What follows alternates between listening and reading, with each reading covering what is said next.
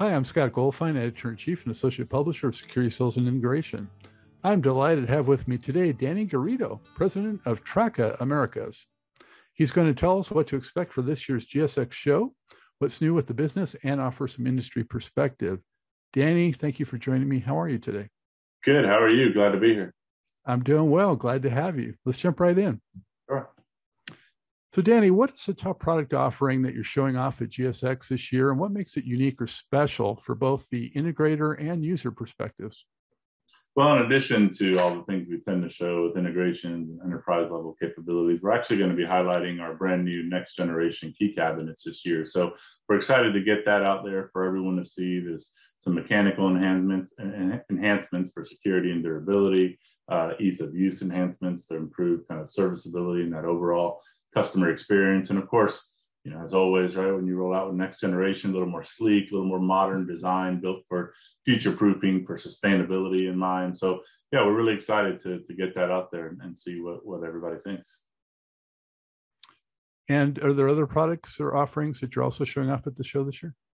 Yeah, we're also going to have uh, our new medical dispensing locker, which is really a great new innovation that we're using and introducing to the corrections and prison sector. There's nothing like it in the market today you know, it's one of those things you don't really think about. It's a real challenge with controlling properly, uh, you know, the medication distribution and, and the prison environment, uh, not only to ensure the prisoners are safe, but ensuring it's efficient, uh, efficient and effective, right? So our new MDL lockers allow for more control, a better audit trail, uh, and safe processes to really distribute the medicine to the inmates in a more effective manner. Really frees up the time for the security guards to, to, to use their time more wisely rather than walking inmates across the prison to get insulin, as an example. So we're excited to get that out there because that's a, a product that really came from innovation of listening to our customer. And so we're really excited to really get it out to the general public.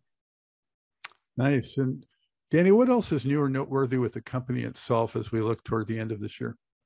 Sure. I mean, we continue to, you know, place a significant amount of investment in R&D, ensuring that our solutions not only meeting the needs of today, but really have our eyes on tomorrow, right? That's really one of the things that we want to want to try and continue to build towards. We've done this, you know, really throughout the entire pandemic, and now obviously, you know, we're kind of moving on from that, puts us in a stronger position, I think, than most you know, one of the things that maybe surprised people a lot about our, our organization, the size of our R&D team uh, in particular. We have more people in our R&D structure than our competitors have in their entire organizations. It's a really big focus uh, for our team and something that we really work hard and put a lot of resources into to make sure we're always keeping our eyes on the future. So, thanks for that.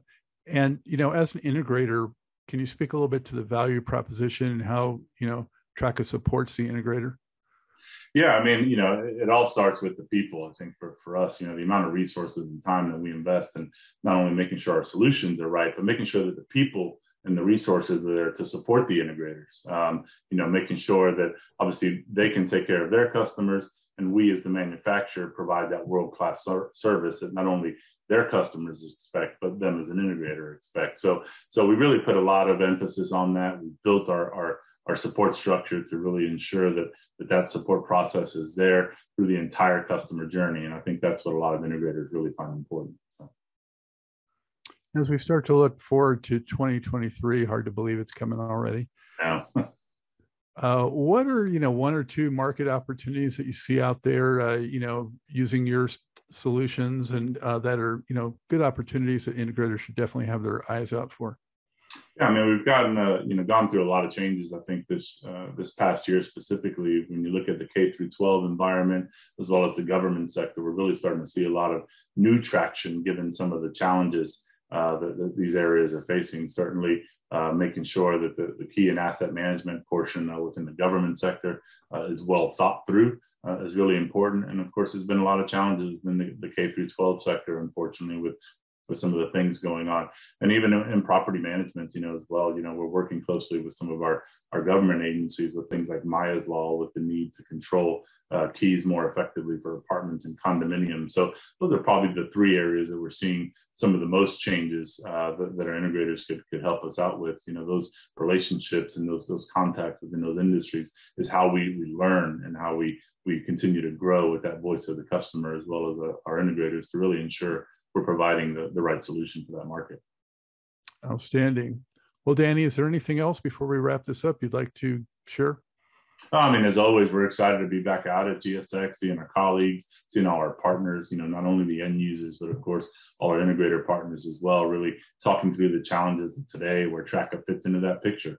You know, we, we use shows like this not just to go out and, and put out our great fancy booth, right? We really want to just continuously learn and onboard the, the voice of our customers. And for us, our customers are our integrators primarily and making sure that we're, we're close to not only what's happening in their world, but in their customers' world. So we can make sure we're building those solutions of tomorrow. At the end of the day, it's all about, you know, supporting them, giving that top notch support from the manufacturer. That's what everybody wants at the end of the day, right? So absolutely. Well, Danny, thank you so much. Appreciate it. Thanks for the time. I want to thank viewers and listeners as well for spending time with us, and we hope to see you at GSX 2022. For now, make it a safe day.